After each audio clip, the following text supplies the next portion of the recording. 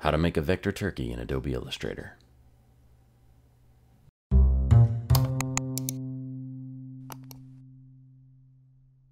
Hey guys, Cary Hawkins here with another VectorMaid.com tutorial. Thanksgiving is coming up, so I thought I'd just do a really quick kind of watch me design uh, a vector turkey video. So I'll kind of describe what I'm doing as I go, but some of this is going to be fast. And so if you have questions, watch the video again or leave some comments down below uh, in the form of a question and I will get back to you um, as quickly as I can. So let's jump on in. All right, a lot of what I'm going to be using today is going to be uh, the ellipse tool. Um, and then I've already kind of got some just nice Thanksgiving colors, some orangish browns and such. And so I'm just going to go ahead and make the body and we'll probably do some sort of darker brown here. And I'm going to grab a couple other ellipses and put them out here. And these will kind of be the wings. Um, I'm going to make two more of these.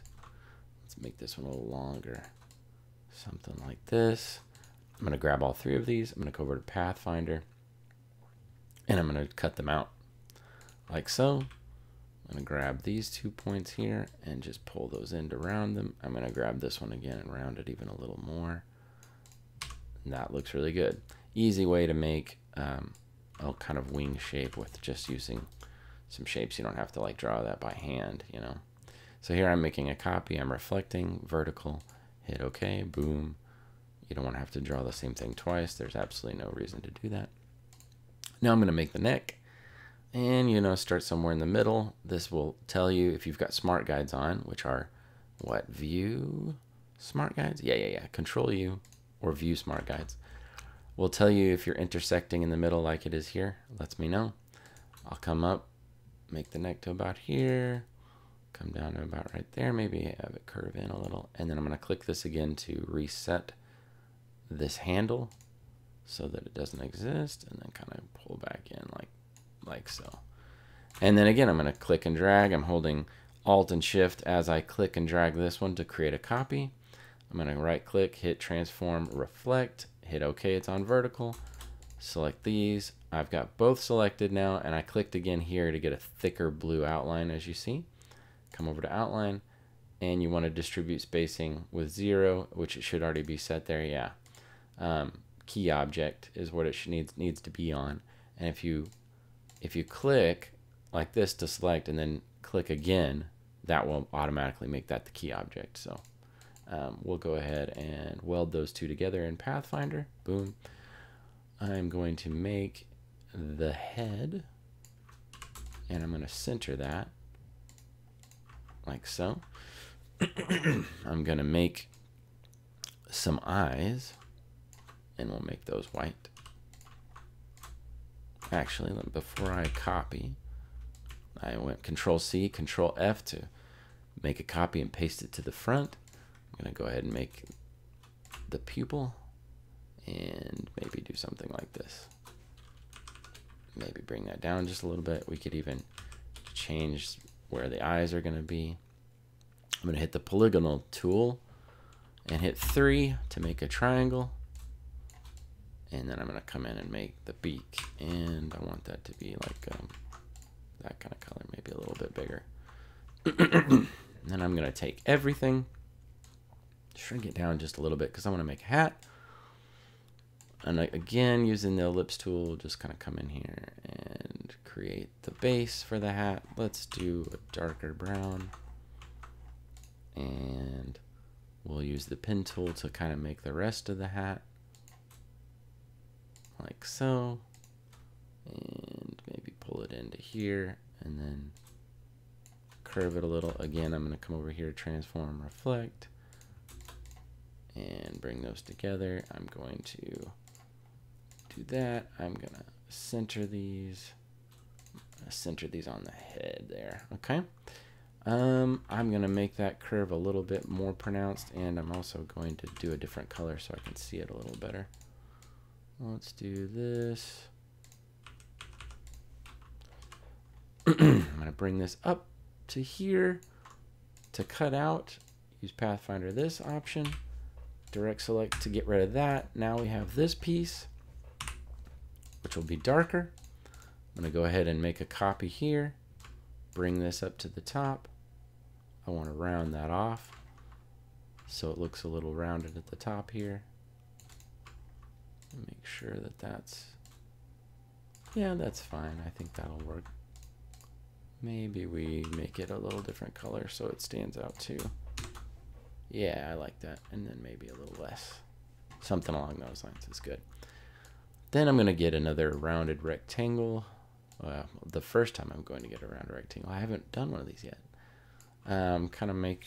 Mm, yeah, we'll go with the same color there. Um, then I'm going to go object, path, offset path. Let's do minus 0.125 inches.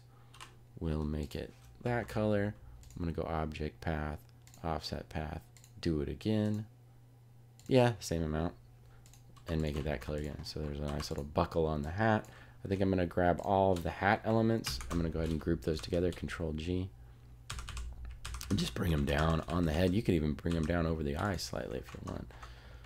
Something like that. Looks fine. I'm going to go ahead and make feet just using the pen tool. Um, let's see here.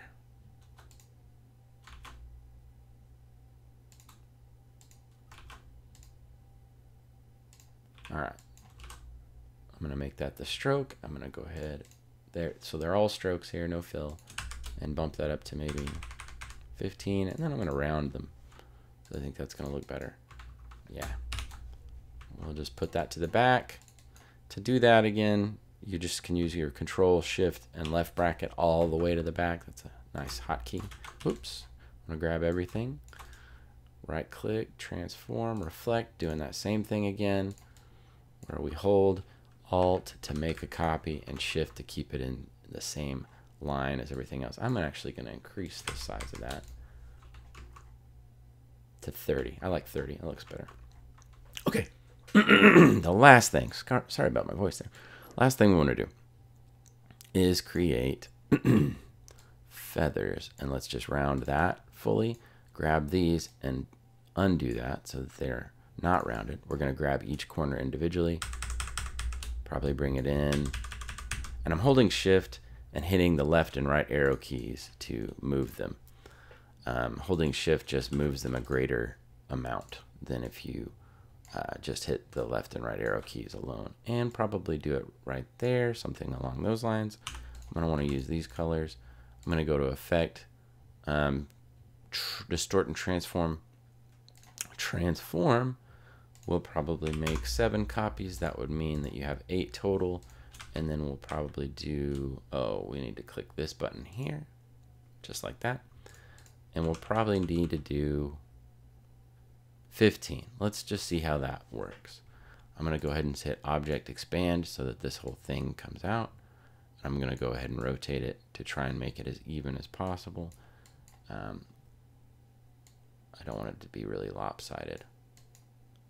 And then I'm going to send it to the back. Again, that's control shift and left bracket to send it all the way back. You can also right click, arrange, send to back. There are your hotkeys. so here it is in the back. I think that looks pretty good. I might raise it a little. And then I'd probably come in here and just change some colors of these so that we have a little more interest, you know, something kind of fun. Was it this one? Yeah, it was that one. Yeah. And voila. There you go. Vector Turkey in just a matter of minutes. And we used a lot of shape tools that already exist. You don't have to really do any of this by hand, save for just a little bit of, you know, pen tool usage. And if you want to, you could just come in here and even uh, make a little red. I don't even know what that's called. It's just a red hanging thing on their face. You know what I'm saying? That thing. Add a little detail to it if you want to. But there you go. That's the gist of making a vector turkey in Illustrator. If you like this, leave a comment down below. Hit that like button, hit, hit subscribe, and hit the notification bell, and help me grow the channel. All right. Happy Thanksgiving.